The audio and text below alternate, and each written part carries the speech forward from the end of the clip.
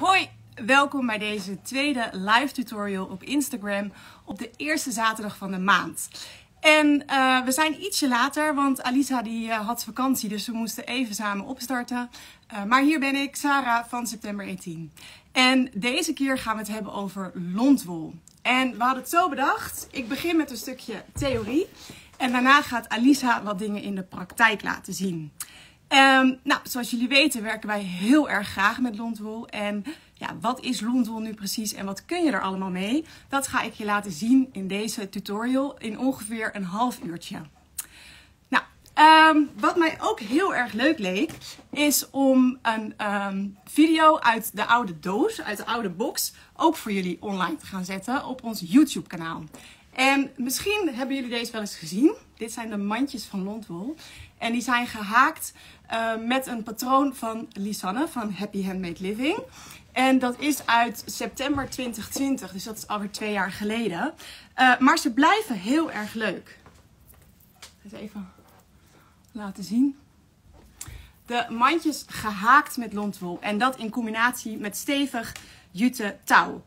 Uh, nou, dat is een box uit de oude doos die ik online kan zetten voor jullie. Uh, en de andere, dat is een kussen. En dat ziet er zo uit. En die is gebreid met dikke pennen. Want je kunt ook lontwol breien met houten breipennen. Dus jullie mogen kiezen of je uh, dit weekend de tutorial wil zien van de mandjes haken.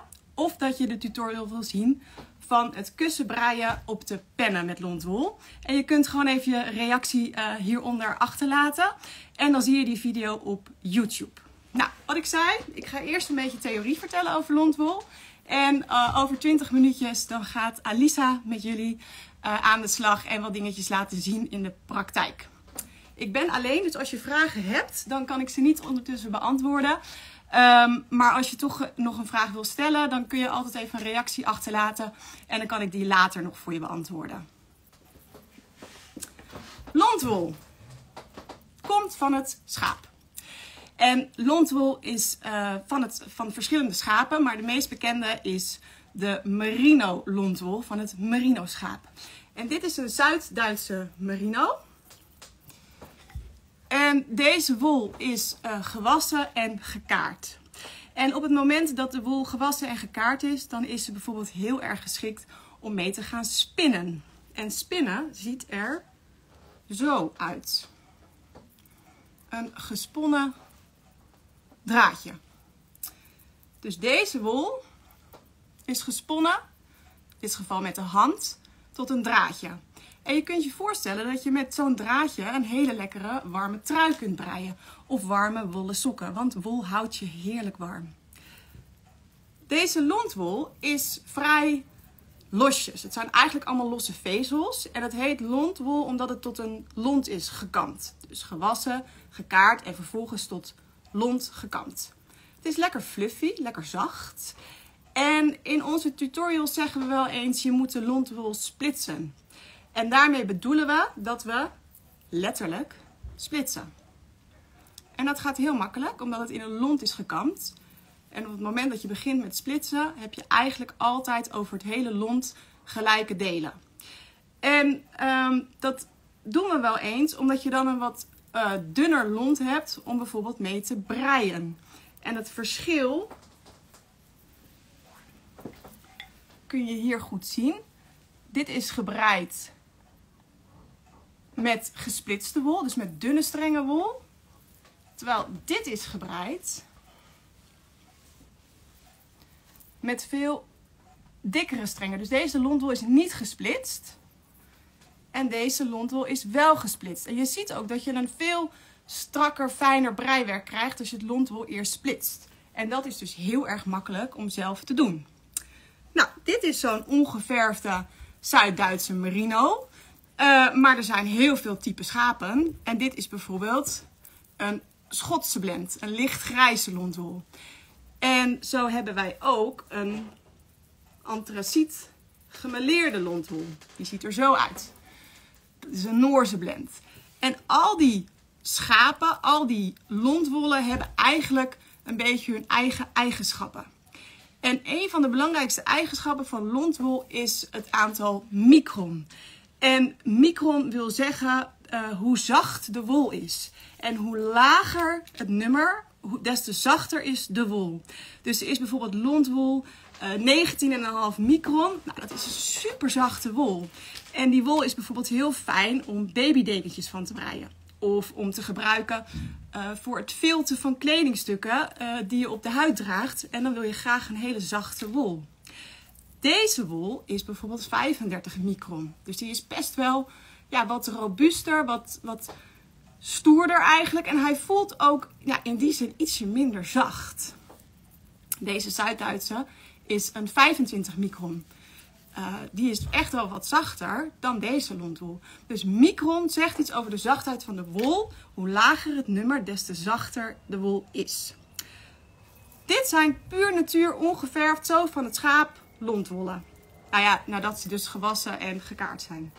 Maar je hebt ook geverfde lontwol in kleurtjes. Want ja, dat staat natuurlijk hartstikke leuk uh, als trui of in je interieur. En deze wol is geverfd uh, biologisch op een boerderij in Europa. Zonder enige chemicaliën of wat dan ook. Alleen een biologische certificering kost heel erg veel geld. Uh, dus officieel niet gecertificeerd, maar biologisch geverfde lontwol. En deze wol is 27 micron, maar omdat die uh, geverfd is, voelt hij ook wel gewoon lekker zacht eigenlijk. Nou, en als je dus deze wol hebt, dan kun je, wat ik al zei, een draadje gaan spinnen. En daarmee uh, een kledingstuk breien of mee gaan weven. Maar je kunt ook met deze lontwol filten. En ik weet niet of dat je wat zegt, maar filten beetje lastig of jullie het nou goed zien. Maar goed. Filten is uh, wol uh, met, met water, zeep en beweging een nieuw materiaal maken. Dus je hebt stoffen, maar je hebt ook, uh, dat noem je non-wovens. En dat is bijvoorbeeld vilt, maar dat is ook leer. En dat zijn, ehm, ja, eigenlijk, het is een nieuw materiaal. Het is heel stevig. En die, die wollen vezels, die hebben een soort weerhaakjes. Ik vergelijk het wel eens met dennenappels die kan je eigenlijk een soort van in elkaar draaien, een soort van vastzetten. En omdat die wol, die structuur van die vezel, die weerhaakjes heeft, kan hij zichzelf vastzetten met elkaar onder invloed van warm water, zeep en beweging. En dan bedoel ik bijvoorbeeld uh, olijfzeep is een hele bekende voor het filten. Nou, je kunt deze grappige onderzetters filten, maar je kunt bijvoorbeeld ook een sjaal filten. Dat ziet er zo uit. En deze sjaal is gevild met lontwol. Dus met deze lontwol in de kleurtjes groen en lila. En uh, de achterkant is uh, zijde, chiffonzijde. En je hebt altijd wol nodig om te kunnen filten. Maar je kunt bijvoorbeeld wel filten op een ander materiaal. Bijvoorbeeld op gaaskatoen of op chiffonzijde. En gaaskatoen en chiffonzijde hebben allebei een open structuur. Want die wolvezels die moeten ergens doorheen kunnen om dan vervolgens met elkaar te gaan verbinden. Dus als jij een, uh, uh, nou als je deze trui hebt, hier kan je niet op filten. Want die vezels kunnen er niet doorheen. Maar als je dus een hele open structuur hebt. Ik even te kijken of ik hier iets heb. Ja, ik heb hier iets. Oh, ik weet niet of jullie het kunnen zien pak het toch heel eventjes.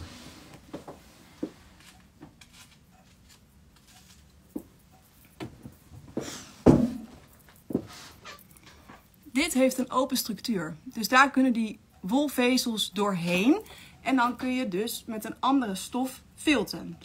Um, maar je hoeft natuurlijk niet per se op een stof te filten. Hè. Je kan ook gewoon de wol met zichzelf uh, filten. En um, Miranda van 100% Miranda op Instagram heeft vorige week, ik denk dat het zo nou, 22, 23 september was, een heel erg leuk, uh, leuke post gemaakt over restjes lontwolfilten. En daar heeft ze dan eikeltjes van gefild. En je ziet in haar post, als je even swipet, zie je haar uh, aan het werk met water, zeep en beweging. En dan filt ze dus die eikeltjes. Dus dat is echt super leuk om te doen als je nog restjes lontwol hebt. Tipje. Um, nou, wat kun je verder doen met uh, de lontwol? Um, je kunt er dus mee filten. Je kunt er mee haken. Had ik net even laten zien, hè? Die gehaakte mandjes uh, met touw. Je kunt er ook mee breien. de dekens breien van lontwol. Uh, gisteren had ik iemand in de winkel die wilde graag een vest breien van lontwol. Dat is natuurlijk ook super leuk. Zo'n lekkere chunky knit uh, vest. Je kunt er uh, mee macrameeën, macramee techniek, dus het knopen van de lontwol. En dat was ook de box van september. Het kleed wat we hebben geknoopt met lontwol. en dat is eigenlijk ook de aanleiding voor deze tutorial over lontwol. En straks gaat Alisa dus eventjes in de praktijk laten zien hoe je dat doet, die macramee techniek. En ze gaat ook even laten zien hoe je op je handen zo'n deken kunt breien.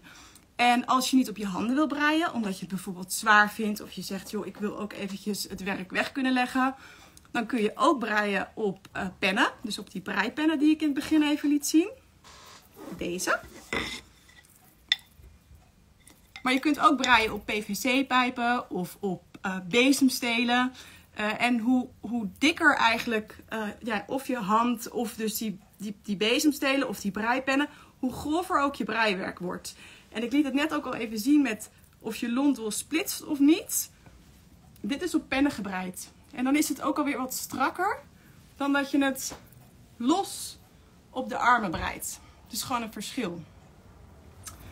Um, we hebben ook uh, eerder met uh, lontwol uh, gewe geweven, gewoven. Dus dan maak je eigenlijk een frame van touwtjes. En daar ga je met je lontwol doorheen. En dan kun je een wandhanger uh, weven van lontwol. Maar je kunt ook een wandhanger knopen uh, met lontwol. En dan heb je een beetje zo'n macramé techniek. Kortom, je kunt ontzettend veel leuke dingen doen met die lontwol.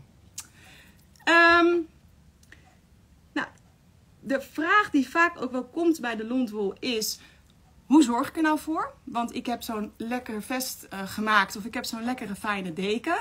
Um, en het meest praktisch is uh, om het, uh, stel dat je een deken hebt en je zegt nou die wil ik gewoon even graag wassen. wassen van lontwol, bijvoorbeeld in een machine met een flinke scheut zeep, dat heeft natuurlijk niet zo heel veel zin, want dan krijg je filten. Want warm water, zeep en beweging is vilt. Dus als jij je lontwol deken of je lontwol trui in, in de wasmachine gooit, ja, dan krijg je daar een soort van verfilte deken voor terug. Het meest uh, makkelijke is hem gewoon even buiten te laten luchten. Of als je hem per se wilt wassen, uh, dan zou ik altijd een uh, lauwe warme handwas doen met een fijn wasmiddel. En laat je lontwol deken of je lontwol breiwerk of wat dan ook altijd plat drogen. Want als je het ophangt, zeker lontwol heeft gewicht en zeker als het zwaar is, dan gaat alles hangen en dan rekt eigenlijk alles helemaal uit. Dus het liefste buiten laten luchten. Wil je toch je lontwol deken uh, of je lontwol trui wassen, uh, dan dus eventjes uh, met, een, met een handwas. En het aller, aller, allerbeste is um, in de sneeuw. Want sneeuw reinigt de wol. En nou ja, dat doen ze ook in, in Zweden, Noorwegen, Zwitserland. Met hun lamswollen of schapenvachtjes altijd reinigen in de sneeuw. Dus laten we hopen dat het lekker koud wordt deze winter. En dan ga je gewoon lekker onder die wol liggen. Dan braai je een dekentje met lontwol. En dan kun je letterlijk onder de wol. En als het dan sneeuwt, dan leg je hem buiten om hem te reinigen. Um, ik zit even te denken of ik jullie zo een beetje de theorie heb verteld over de lontwol. Uh, wat nog veel gevraagd wordt is hoeveel lontwol heb ik nou eigenlijk nodig? Uh, eh, 25 gram lontwol is ongeveer een meter streng. En afhankelijk van wat je gaat doen, uh, heb je een x aantal kilo nodig een babydekentje braai je bijvoorbeeld met een kilootje. Dan heb je een dekentje van 50 bij 100. En kraamverzorgers vinden dat echt fantastisch, want uh, wol uh, reguleert je lichaamstemperatuur. Dus je kunt je voorstellen dat een pasgeboren baby die moeite heeft om op temperatuur te blijven, als je die op een lontwolle dekentje legt met een lakentje ertussen, dat het heel fijn is. Uh, een bedspray, en dan heb ik het over 80 bij nou, zo'n beetje 180 centimeter. Daar heb je 2 kilo voor nodig. Uh, voor een beetje een leuke wandhanger zit je op een kilo. Die kan je dan knopen. En een deken met 3 kilo, dan heb je echt wel een grote deken van, nou, ik denk 100 bij 150 uh, eh, centimeter. Dus dan kan je lekker onderkruipen op de bank. Um, nou, mocht je nog andere vragen hebben over lontwol, de theorie, Laat het mij weten, dan kan ik daar later nog op reageren. En voor iedereen die het uh, gemist heeft aan het begin, het leek mij dus leuk om uh, een box uit de oude doos online te zetten voor jullie op ons uh, september 18 YouTube kanaal.